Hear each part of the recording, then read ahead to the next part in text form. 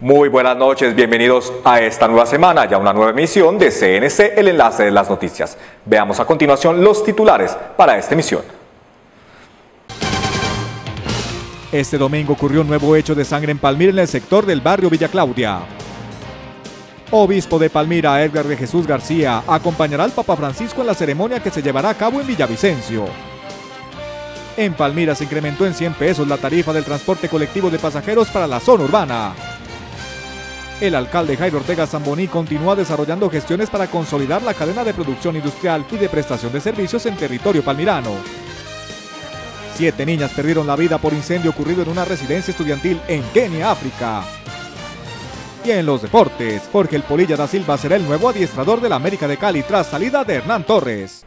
Mucha atención porque un hecho de sangre se suma a las muertes violentas en Palmira. Los disparos ocurrieron el pasado domingo 3 de septiembre a las 3 y 5 de la tarde en la calle 47 con carrera 34C, barrio Villa Claudia, impactaron a la víctima, quien se movilizaba en una motocicleta Yamaha RX Gris y residía en el barrio La Benedicta en límites con la Esperanza. De acuerdo a lo informado por la policía, Giovanni Pérez Restrepo, de 26 años de edad, tenía antecedentes penales y hacía poco tiempo habría salido de la cárcel. De otra parte, el obispo de Palmira, Edgar de Jesús García, acompañará junto con otros obispos al Papa Francisco en la ceremonia que se llevará a cabo en Villavicencio. A través de CNC Noticias, el obispo envía un mensaje muy importante a la comunidad palmirana. El obispo de Palmira, Edgar de Jesús García, saldrá el 5 de septiembre hacia Bogotá para recibir el Papa Francisco. Salgo Dios mediante el martes 5 de septiembre hacia Bogotá el miércoles 6 estaré con la comitiva de recibimiento del Papa Francisco en el aeropuerto.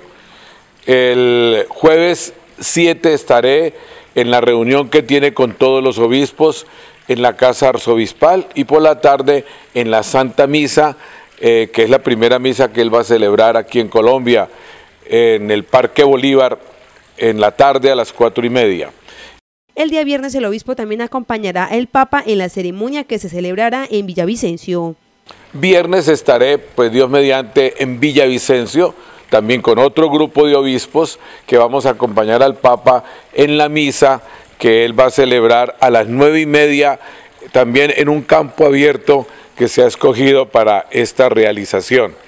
Posteriormente, yo regresaré aquí a Palmira el domingo 10 a seguir mis trabajos y mis tareas de pastoral de nuestra diócesis de Palmira. El obispo invita a los palmiranos para que estén totalmente dispuestos para esa visita del Papa Francisco a Colombia. Yo quiero aprovechar esta oportunidad para invitarlos a todos. Si no pueden ir a los lugares, eh, lo debemos seguir también por televisión. Eh, el padre Bernardo va a colocar en la Plaza de Bolívar una gran pantalla gigante para que todos ustedes los que quieran lo sigan eh, simultáneamente y puedan ver las ceremonias y sobre todo escuchar al Papa porque sus mensajes son muy importantes ya que Él viene en nombre de Jesucristo, buen pastor. Y esos mensajes tienen que ser para fortalecer nuestra fe, para fortalecer nuestra esperanza y para suscitar la caridad de nosotros los colombianos, sobre todo en el tema de la reconciliación. La Secretaría de Tránsito y Transporte de Palmira dio a conocer las nuevas tarifas de servicio de transporte colectivo de pasajeros que comenzó a regir desde el primero de septiembre para la zona urbana de la Villa de Las Palmas. Mediante el decreto 306, expedido el 18 de agosto de 2017, la Administración Municipal, a través de la Secretaría de Tránsito y Transporte, establecieron el incremento de las tarifas en el transporte colectivo de pasajeros en Palmira. La tarifa quedó en un valor de 1.600 pesos para vehículos que funcionan con diésel y en 1.800 pesos para vehículos que funcionan con gas natural. El incremento estará vigente hasta el 31 de diciembre de este año, pues a partir del 1 de enero de 2018 el valor del pasaje subirá 100 pesos más respecto a la tarifa actual. El alcalde Jairo Ortega Zamboni aseguró que estas tarifas serán planas y aplican sin distinción para los días ordinarios, horarios diurnos y nocturnos, dominicales y festivos, sin que el usuario se vea afectado por otro incremento. Para la expedición de la nueva medida, se tuvo en cuenta que desde el año 2015 no se aumentaban estos valores.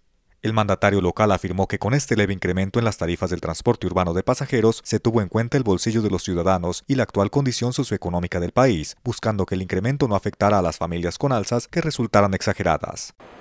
El alcalde Jairo Ortega Zamboní continúa desarrollando una importante gestión para consolidar la cadena productiva y de prestación de servicios que hoy opera en sitios estratégicos como la zona franca del Pacífico con 43 empresas y en la zona franca de Palma Seca con 38.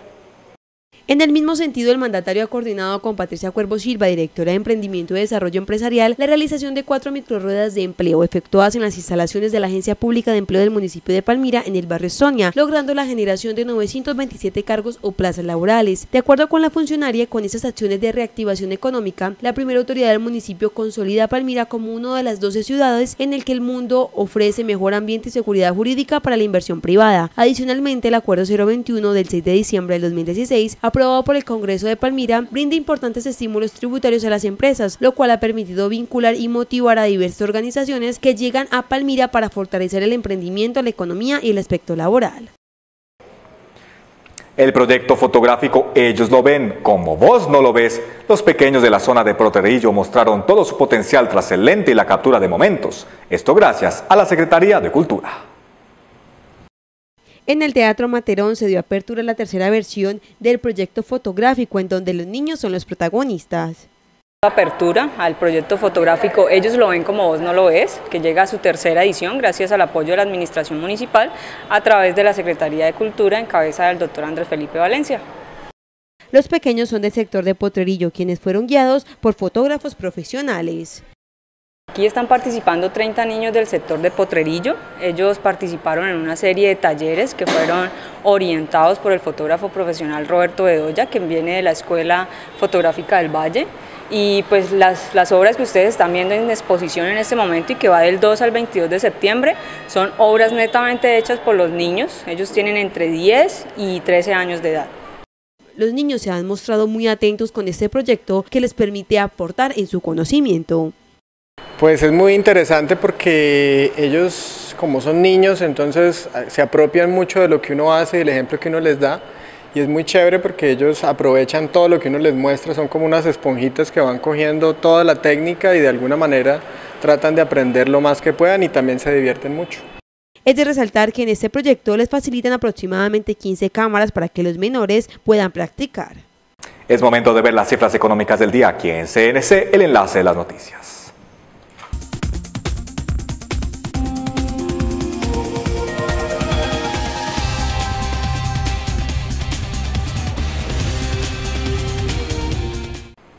Hacemos la siguiente pausa para comerciales. Ya regreso les contaremos cómo la Secretaría de Tránsito y Transporte de Palmira ha recuperado varias vías que estaban suspendidas al tránsito de vehículos. Regresamos.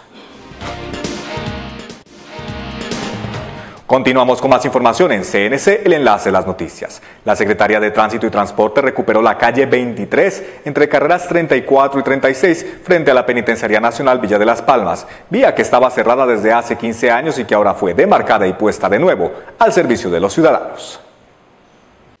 De acuerdo y en atención a la solicitud formulada por la comunidad y a la política de la Administración Municipal de recuperar vías para garantizar una amplia malla vial que brinde un tránsito fluido y eficiente, se reactivó el tránsito vehicular por la calle 23 en cercanías a la penitenciaría de Palmira. Al respecto, el secretario de Tránsito Jorge Enrique Calero Caicedo dijo que por disposición del alcalde Jairo Ortega Zamboní fueron varios los tramos viales recuperados para el servicio de la comunidad, tal como ocurrió con la carrera 32 entre calles 46 y 47 a la altura de la Policía de Carreteras, al igual que las vías en la parte exterior de los CAIs. Desde este domingo, las visitas y el tráfico automotor que llega a las afueras del centro de reclusión contarán con el apoyo de los técnicos operativos de tránsito para garantizar la movilidad alrededor del barrio olímpico. El funcionario también subrayó que al momento de la reapertura fueron muchas las voces de agradecimiento recibidas por garantizar la movilidad y desplazamiento automotor en el sentido occidente-oriente, además de beneficiar entidades como Corpoica, la comunidad del plantel educativo y habitantes de la zona que padecieron durante 15 años el cierre de la calle 23. Y atención a lo siguiente, la Registraduría Municipal del Estado Civil en Palmira ha entregado en lo que va corrido del 2017 un significativo número de cédulas y tarjetas de identidad pero que no habían sido reclamados durante buen tiempo. Algunas de ellas han estado guardadas desde hace tres años, pero atención a lo siguiente, faltan por entregar una considerable cantidad que supera las 9.000 cédulas y las 5.000 tarjetas de identidad. Registraduría del Estado Civil invita a los ciudadanos a retirar documentos de identidad aún no reclamados en la ciudad de Palmira. De acuerdo con los registradores del Estado Civil en la ciudad, Amanda Ceballos y Célimo Alejandro Ramírez Mayarino, si estos documentos no son reclamados prontamente, el registrador nacional Juan Carlos Galindo podría ordenar su devolución a la sede central del organismo en Bogotá. Por ello se está haciendo un llamado a quienes han realizado trámites para obtener el documento que los acredita como ciudadanos y aún no lo han reclamado para que se acerquen y hagan uso de ese derecho en la sede de la carrera 31, número 2658 Barrio Nuevo, en donde la atención al público es en jornada continua de 8 de la mañana a 4 de la tarde. Según el análisis estadístico de esta dependencia, desde el 2012 Palmira no hace devolución de cédulas y tarjetas a la sede principal de Bogotá. Según se pudo establecer, el número de documentos expedidos en el municipio se incrementa porque algunas personas buscan cedularse, preferiblemente en Palmira, debido a que la ciudad ha cobrado renombre en el ámbito nacional por su pujanza y progreso. En todo el país hay 1.200.000 cédulas y tarjetas de identidad sin reclamar. Las empresas de los sectores de molinería y cacao, chocolate y confites fueron las de mejor comportamiento con una variación de su producción del 16.4% y el 4.8% respectivamente. También lograron un incremento en su producción en las industrias de papel, productos farmacéuticos y fabricación de jabones y detergentes. Se registra una baja en la producción industrial en el Valle del Cauca. A pesar del índice anterior, 5 de 12 sectores productivos del Valle presentaron un comportamiento positivo en el primer semestre de 2017, según lo informó el DANE.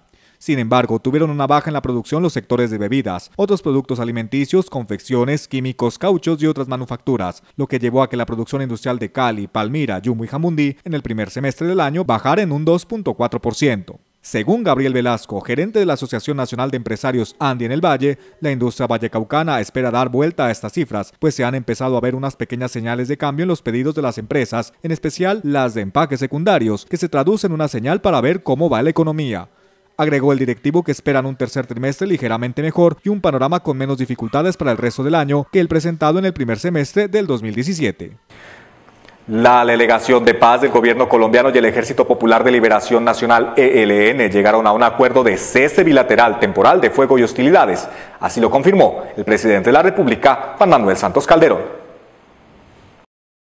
El acuerdo entrará a regir el próximo primero de octubre y tendrá una vigencia inicial de 102 días, es decir, irá hasta el 12 de enero del próximo año y se irá renovando en la medida en que se cumple y se avance en las negociaciones sobre los demás puntos. Para lograr el pacto, el gobierno planteó como condición al ELN el cese inmediato de todas las formas de violencia contra la población civil, tales como el secuestro, los atentados contra la infraestructura o eleoductos, el reclutamiento de menores y la siembra de minas antipersonales. Mientras tanto, el gobierno le garantiza al ELN suspender toda acción militar contra ellos, investigar y tomar medidas efectivas para evitar el asesinato de líderes sociales, atacar con más contundencia, atacar con más contundencia a grupos ilegales de regiones vulnerables y un plan humanitario para mejorar las condiciones de los presos de esa guerrilla que se encuentran en las cárceles del país.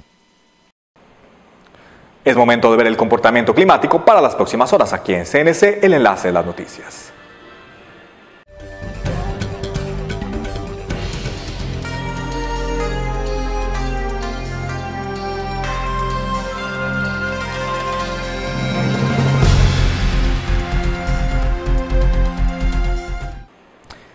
Y es momento de darle paso a toda la información a nivel internacional con Nigiret González.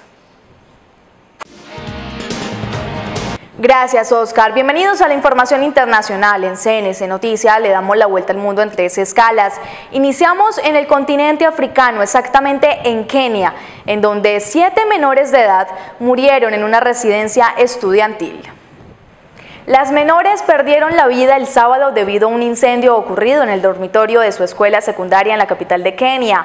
Hasta ahora se desconoce la causa del incendio, por lo que la secundaria Moy Gears estaría cerrada dos semanas para investigaciones. Según el testimonio de una de las estudiantes, a las 2 de la madrugada fueron despertados los residentes del lugar para que evacuaran el hostal al detectarse un incendio en uno de los recintos, por lo que la mayoría de las personas entró en pánico y comenzaron a saltar por las ventanas. El presidente de Kenia, Uhuru Kenyatta, y el líder de la oposición, Raila Odigan, rápidamente dijeron que estaban preocupados por las muertes.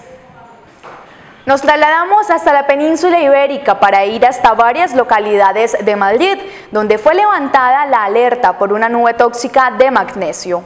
Un incendio en un polígono de la localidad de Fuenlabrada había quemado 40 toneladas de virutas de magnesio y aluminio, que ocasionaron la aparición de la nube tóxica que contaminó el aire.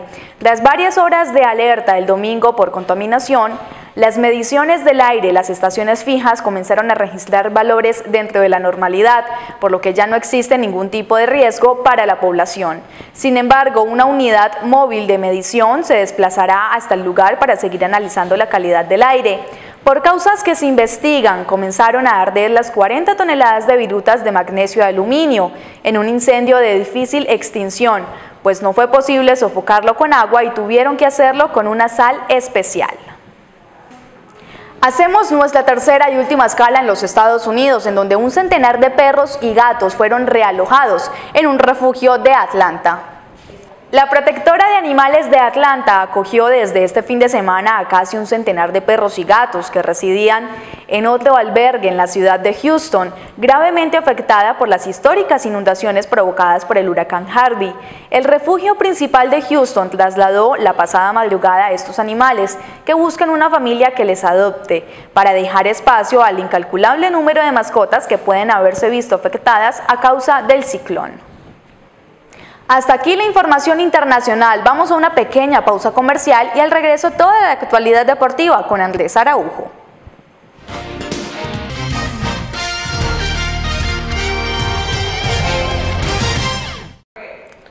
Hola, buenas noches, bienvenidos a toda la información deportiva en CNC Noticias. El Deportivo Cali sigue superando la crisis de resultados. Este fin de semana mostró una mejoría futbolística y además venció como local al Atlético Bucaramanga, triunfo que le sirvió a los azucareros para meterse en el grupo de los ocho.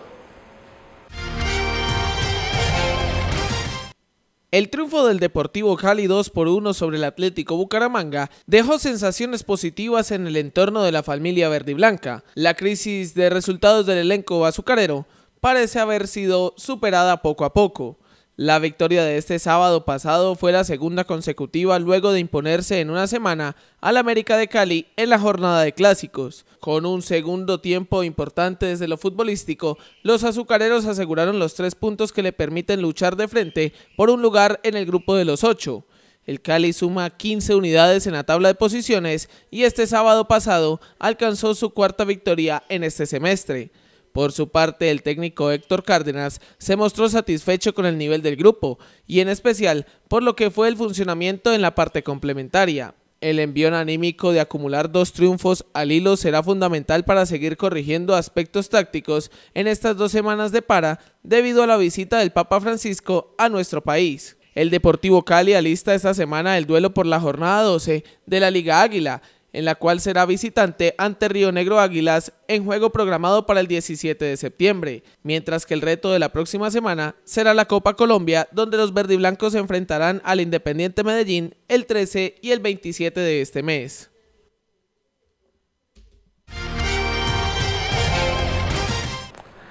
De otro lado, tras la renuncia del profesor Hernán Torres a la dirección técnica del América de Cali, tras la derrota de este fin de semana ante Envigado, el presidente del Club Escarlata, Tulio Gómez, confirmó hoy la llegada del Polilla da Silva, quien será el nuevo administrador de los Diablos Rojos de Cali.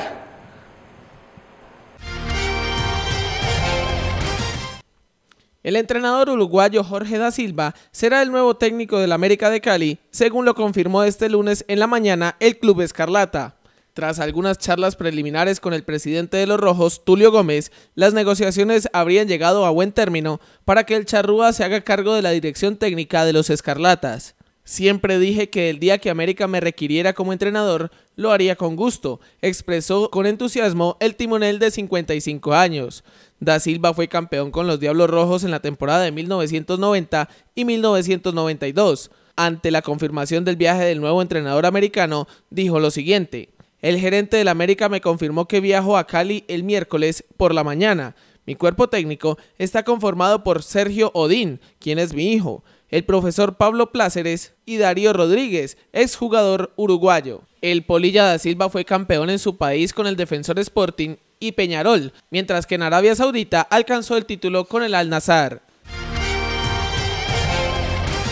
El Polilla da Silva arribará este miércoles al Aeropuerto Internacional Alfonso Bonilla Aragón de Palmira, donde se sumará a los trabajos con el América de Cali.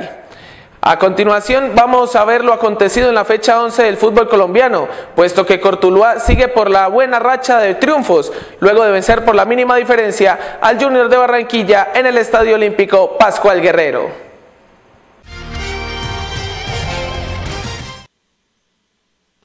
Otro gran resultado alcanzó este domingo en la noche el Cortuluá al derrotar 1 por 0 al Junior de Barranquilla en duelo por la jornada 11 de la Liga Águila.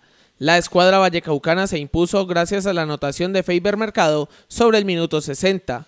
Los orientados por Néstor Otero fueron más efectivos durante el compromiso, que se disputó en el Estadio Olímpico Pascual Guerrero.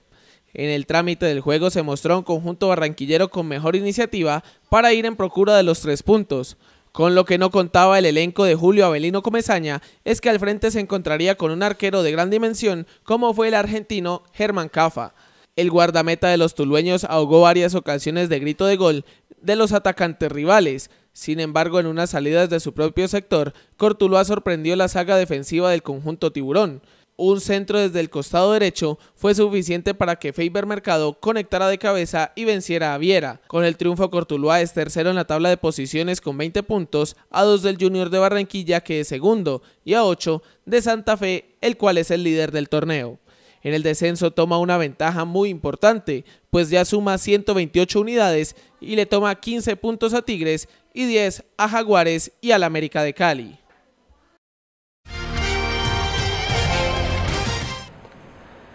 Ahora nos metemos de lleno a las eliminatorias sudamericanas rumbo a Rusia 2018, porque Brasil ya se encuentra en la Arenosa, en Barranquilla, para el duelo de mañana ante Colombia en el Estadio Metropolitano de los Barranquilleros. Los hinchas le dieron una calurosa bienvenida a la selección auriverde comandada por Neymar Jr. La selección brasileña de fútbol liderada por el delantero Neymar del Paris Saint-Germain llegó este domingo en la noche a Barranquilla, donde mañana jugará con Colombia el partido de las eliminatorias sudamericanas para el Mundial de Rusia 2018.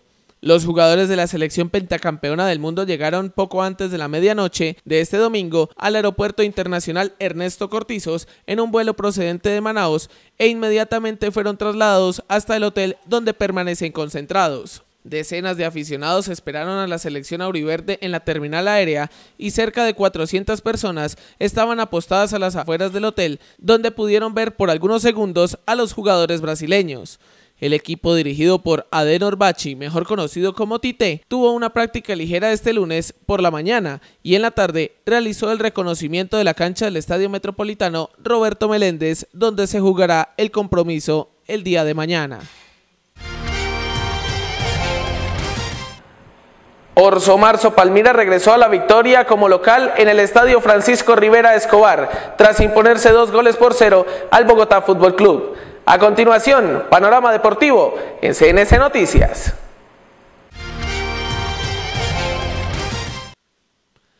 El gimnasta colombiano Josimar Calvo ganó medalla de plata en la Copa Mundo que se disputa en la ciudad de Varna, en Bulgaria. En la barra fija, prueba en la que Calvo terminó primero en la ronda clasificatoria, el colombiano tuvo una lucha mano a mano con el brasileño Caio Souza, a tal punto que terminaron la prueba con el mismo puntaje, 14.200 unidades. Pero los jueces determinaron que, por la ejecución de la prueba, Souza se llevaba la medalla de oro, mientras que Josimar se quedaba con la presea de plata.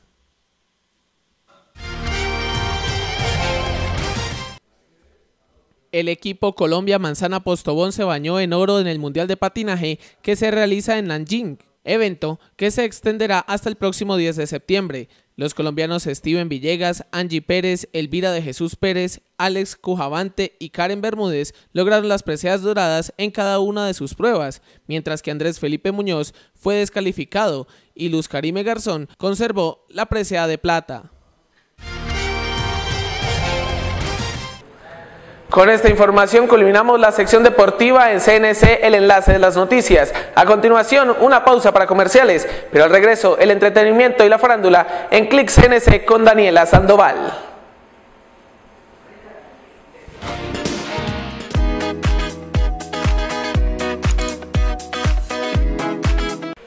Hola, muy buenas noches. Bienvenidos a Click CNC. El sábado 2 de septiembre se celebró en el Balcón de Ratón la canción social y latinoamericana a partir de las 7 de la noche. La Alcaldía de Palmira y la Secretaría de Cultura celebraron el cuarto encuentro de la canción social y latinoamericana, que se realizó el sábado 2 de septiembre a las 7 de la noche en el Balcón de Ratón, ubicado en la calle 32, número 2436. La Administración Municipal apoya de manera permanente estos espacios que permite fortalecer el contacto con la comunidad a través de diversas expresiones artísticas y culturales, dijo el secretario de Cultura Andrés Felipe Valencia. Este encuentro que promete masiva asistencia se adelantará evocando grandes clásicos de esa expresión social como Mercedes Sosa, Juan Manuel Serrat, Silvio Rodríguez, Violeta Parra y Facundo Cabral. Con esta dinámica cultural la comunidad tiene la oportunidad de conocer cómo la música social y latinoamericana tomó momentos claves de la historia del continente, destacó Jacobo Pérez, líder y gestor del Balcón de Ratón en Palmira. Y con excelentes resultados, Incolvalet dio fin al concurso internacional Danzando en Lima, en el cual participaron ocho países suramericanos. Con excelentes resultados para Incolvalet terminó el concurso internacional Danzando en Lima 2017, que reunió bailarines y maestros y coreógrafos de 87 escuelas de danza de 8 países suramericanos. La directora del Instituto Colombiano de Ballet dijo que participaron 1.803 bailarines en el cual habían 8 de sus estudiantes. Trajeron 17 medallas, 13 en oro, 5 en plata y 9 en bronce. Además explicó que el Incolvalet participó en las modalidades clásica, contemporánea, folclore libre y jazz, y con un total de 15 coreografías. Se tuvo el primer puesto con Zoraida de la Cruz como mejor maestra participante del evento, la mejor escuela de Suramericana y 17 medallas. Es un logro importante de los estudiantes, de los profesores, porque este es un modelo integral y es un trabajo en equipo, tanto en los profesores como estudiantes, padres de familia y por supuesto con el apoyo que brinda la gobernación del Valle para poder llevar a cabo y sacar buenos resultados exitosos y de calidad en este modelo educativo y artístico único en el mundo. Además, por su excelente desempeño, los estudiantes Valentina Galina Rodríguez, Santiago Rojas, Dayana Rojas Maya, Juan Manuel Esteban Serna y Manuela González ganaron becas para festivales en Brasil y Alemania. Y el próximo 9 y 10 de noviembre será la pasarela de la inclusión, en el cual las convocatorias estarán abiertas hasta el próximo 12 de septiembre. El próximo 9 y 10 de noviembre la Gobernación del Valle realizará la segunda versión de la Pasarela de la Inclusión, evento social que esta vez pretende reunir a los nuevos talentos de los diseñadores del país. La convocatoria para inscripciones se amplió hasta el 12 de septiembre. Esta pasarela se llevará a cabo con 14 diseñadores, con modelos con discapacidad, afrodescendientes, indígenas y cada uno de esos diseñadores va a trabajar con un grupo poblacional. Va a ser una pasarela muy linda y lo que queremos es una inclusión real. Esta vez están enfocados a los nuevos diseñadores y nuevos creadores que quieran participar de la pasarela dijo la gestora social Jimena Toro, quien es la encargada de liderar la iniciativa del año pasado que contó con cientos de asistentes. Los interesados en inscribirse pueden hacerlo a través de la página web www.pasareladeinclusión.com. La convocatoria estará abierta desde la Secretaría de la Mujer y adicionalmente desde la página de Facebook como Pasarela de Inclusión, dijo Torres. La gestora social del Valle dijo que la intención de la Pasarela de Inclusión es visibilizar a todas las comunidades del departamento o a través de eventos donde se integren las familias vallecaucanas. Bueno, y hasta aquí llega el mundo del entretenimiento. Sigan con más información en CNC Noticias. Y antes de irnos, hacemos el siguiente resumen con los hechos más importantes del día. Este domingo ocurrió un nuevo hecho de sangre en Palmira en el sector del barrio Villa Claudia. Obispo de Palmira, Edgar de Jesús García, acompañará al Papa Francisco en la ceremonia que se llevará a cabo en Villavicencio. En Palmira se incrementó en 100 pesos la tarifa del transporte colectivo de pasajeros para la zona urbana. El alcalde Jairo Ortega Zamboní continúa desarrollando gestiones para consolidar la cadena de producción industrial y de prestación de servicios en territorio palmirano. Siete niñas perdieron la vida por incendio ocurrido en una residencia estudiantil en Kenia, África. Y en los deportes, Jorge El Polilla da Silva será el nuevo adiestrador de la América de Cali tras salida de Hernán Torres. Y de este modo hemos llegado a la parte final de esta emisión de CNC, el enlace de las noticias. A ustedes, como siempre, les agradecemos que estén con nosotros y les invitamos para que nos sigan sintonizando durante toda la semana, de lunes a viernes, en punto de las 8 de la noche. Que tengan todos un feliz descanso.